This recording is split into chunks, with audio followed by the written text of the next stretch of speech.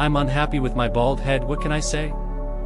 Maybe I should check out cindycut.com. Wow, I finally got my new hair from CindyCut. Now I've got more volume on my head than a teenager's boom box.